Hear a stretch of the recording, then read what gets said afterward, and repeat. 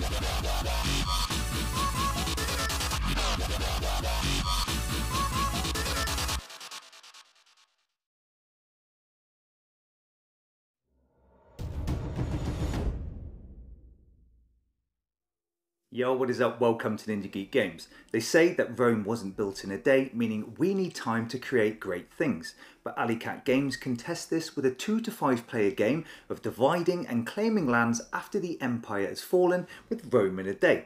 In this game, players aim to build their own domain and score victory points, but this is carried out by taking land presented by other players. You'll need to outguess your opponents, perhaps provide valuable gems to sweeten the deal, all the while not knowing what will be available to you. Let's take a look. So I've set up here for a three player game with each player having a stack of land tiles, a unique building cards with an assortment of buildings on, some gems and two choice cards. Each player gets a screen as well as a reminder tile that indicates the direction that tiles are taken from. Gameplay is pretty straightforward and most of the phases occur simultaneously by all players in a round.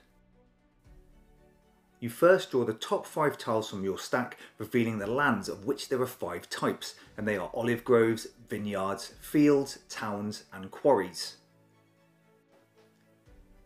Your building cards are separated into four sections representing rounds, and so each round you take the two topmost buildings and place them on the first two revealed land tiles.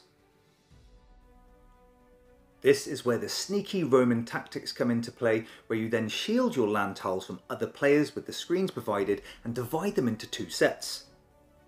Now, all of this happens at the same time and the two sets of land tiles a player creates can have any ratio. So here we have a 2 and a 3, but here we have a 1 and a 4. Also, the set containing the least amount of tiles must have a gem token placed on it and these are worth victory points at the end of the game. Next, you look at what's available and then choose a tile set from one neighbouring player whilst the other takes one of yours. To ensure this is done fairly, all players first choose one of their choice cards and reveal these at the same time to show whether they're taking a small or a larger tile set from their neighbour.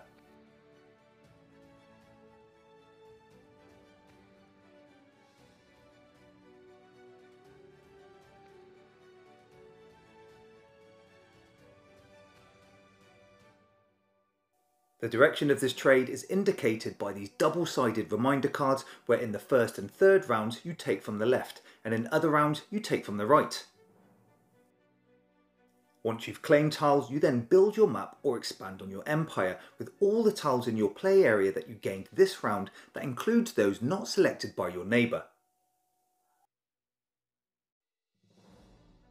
The placement of land tiles, to include those that came with buildings on, becomes the main aspect of the game at this stage, and this is how you score endgame victory points. These are awarded for same coloured tiles sitting in groups adjacent to buildings of the same colour. So, pretty simple gameplay with you drawing land tiles, placing buildings and creating sets. Players then choose a set from one neighbour whilst losing one of their own to another, and these can come with buildings and or precious gems.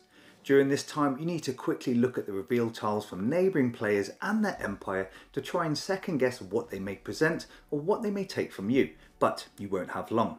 And don't forget, other players will be in the same position as you, hence where the gems come in.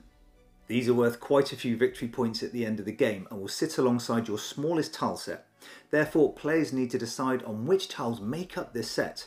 You may want to refrain from including a building on a tile as these drive the endgame victory points, but then you'll also have that dilemma in your selection where that neighbour won't know which of your land tiles are left. I like the scoring mechanic where victory points are tallied at the end of the fourth round and are generated from the number of tiles in your empire adjacent to that of buildings of the same colours.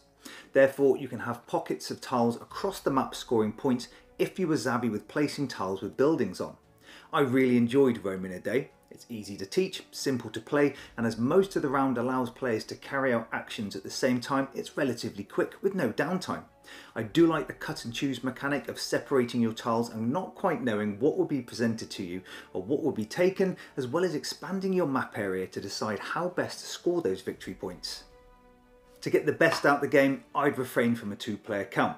It's still fun, but you just end up claiming and losing tiles from the same opponent, which is not as engaging as it is for three to five players. Nevertheless, I enjoyed this and so did my family and young ones as they were able to grasp the concepts fairly quickly. If you enjoyed the video, please give it a like and subscribe to the channel. This is Ninja Geek Games. Cheers.